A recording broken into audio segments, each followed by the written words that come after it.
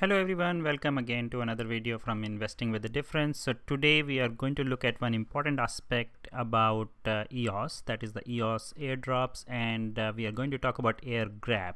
So what is an air grab? So as you remember, there was a lot of controversy around EOS RAM and uh, the airdrops which have been happening on EOS, they had stopped because EOS RAM has been become very expensive.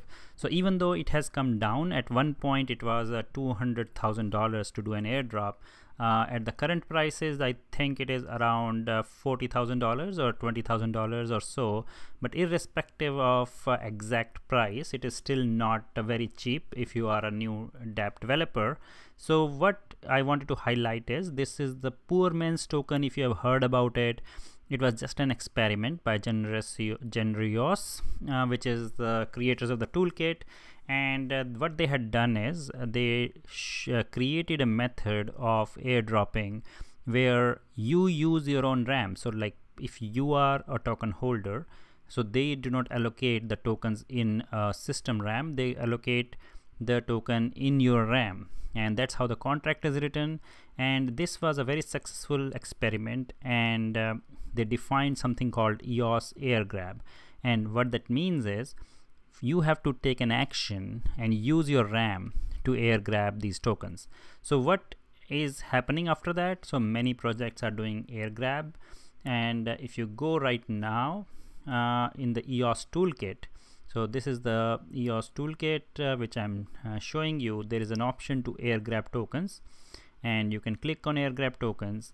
And of course there was the man token which is poor. Now this was a test token so this is uh, this may never get listed because it is not much. It was uh, it doesn't even represent a project other than a test.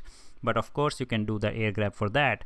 But beyond that there are three other tokens which are right now available. So if you remember we did a video on Trybe and uh, we asked you to go and create an account uh, for some free tokens and uh, they are also using the airdrop model Ridl, which is a very good project. This is uh, from the Scatter creator, N.S. James.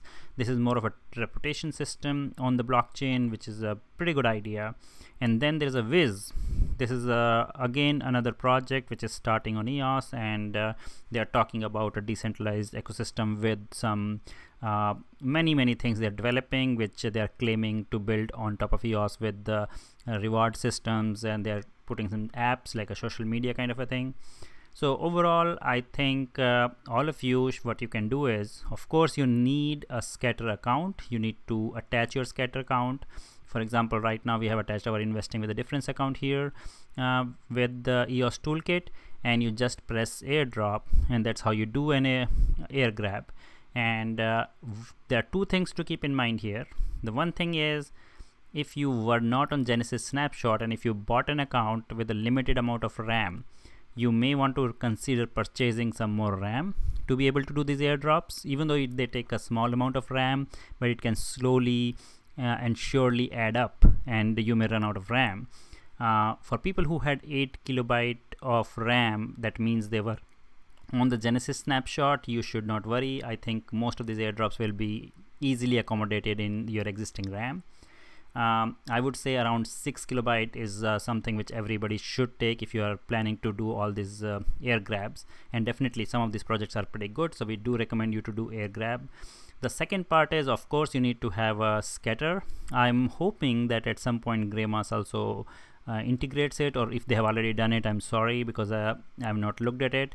Uh, but uh, I think if you're doing scatter so if you remember we did a video which where we showed you how to set your active keys through of course we didn't do it. It was from uh, crypto colin but we asked you, you can follow that.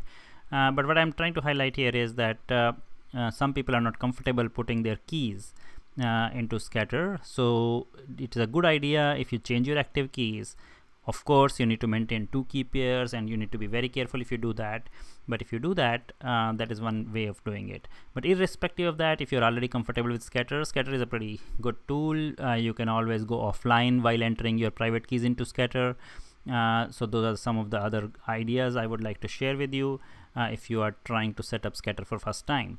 Uh, but in general uh, it is a good thing to do air grab and to make sure that you're not missing out on these opportunities.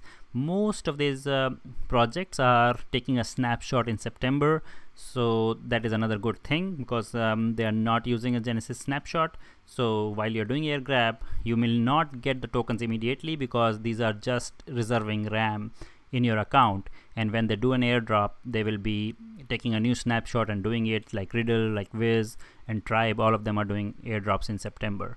So that is something i wanted to highlight. I hope you enjoyed this video. If you liked it please do share and uh, press like. And thanks again for joining in at investing with a difference. Bye for now. Thank you